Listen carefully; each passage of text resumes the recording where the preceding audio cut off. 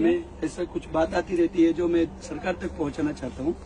और जैसे ये बटन से दो मिनट दादा थोड़ा मैं जला इसके लिए मैं गोरा हूँ इसके लिए। सर जैसे अभी क्या है कि हमारे देश का मुद्दा मेन यही है कि एजुकेशन और मेडिकल जो इतना महँगा हो चुका है एजुकेशन एंड मेडिकल कि जिससे 10 साल 5 साल बाद बहुत हालत खराब हो जाने वाली है देश की। तो इससे राहत पाने के लिए हमारे मन में एक ऐसा सुझाव आया है जो मैं सरकार को बोलना चाहता हूँ। कि जैसे 140 करोड़ की जनसंख्या है देश की तो लगभग 100 करोड़ लोगों का तो बैंक में अकाउंट होगा ही। और बोलो कैसे हो? सौ करोड़ लोगों का तो होगा ही बराबर? अकाउंट। तो जितने लोगों का अकाउंट है मैं चाहता हूँ भारत सरकार रोज का एक रुपए लिया करे हमसे। वो जो टैक्स लेती जीएसटी लेती वो सब अलग मैटर है।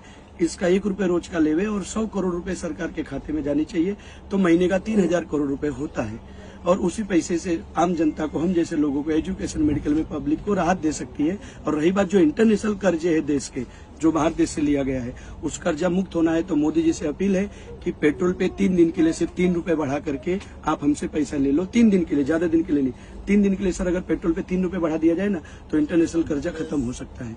तो मोदी जी, प्लीज़ इस बात पे ध्यान दो और आप इंटरनेशनल लेवल पे अच्छे काम करो लेकिन आपके नीचे वाले नेता ध्यान नहीं दे रहे हैं तो प्लीज़ इस पे भी आपको ध्यान देना नहीं तो चौबीस में बहुत तकलीफ़ आ सकती है और मुझे बहुत पीड़ा होती है जब आपकी सरकार कहीं कहीं गिर जाती है। तो जय श्री राम, वंदे भारत।